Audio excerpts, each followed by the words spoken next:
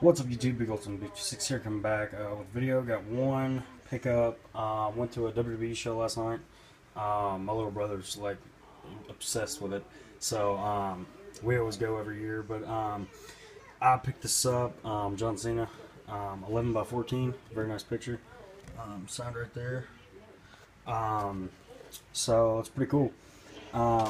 Pretty excited to get it. I've got like three or four Cena autographs um, just from various things. So yeah, um, that's it. Thanks.